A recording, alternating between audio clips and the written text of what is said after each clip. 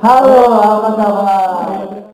저희 에이티즈가 인- 인도네시아에서는 처음 공연을 하는 거라 어, 평소보다 더 이제 더 에이티즈다운 모습 그리고 더 좋은 모습 보여드리기 위해서 준비를 많이 해왔는데 어, 오늘 아쉽게 민기라는 멤버가 같이 참여를 하지 못하게 되었어요. 그래서 이제 오늘 민기가 없는 자리까지 더 좋은 모습 보여드리려고 노력 많이 준비 많이 해서 왔으니까 기대 많이 해주셨으면 좋겠습니다.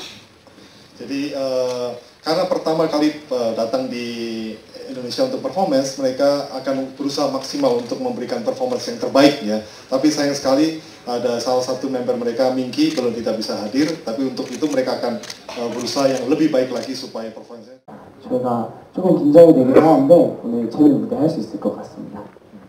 Ya, ka- kami senang, eh, senang lagi, tapi kami sedikit nervous dan akan berusaha yang lebih baik gitu.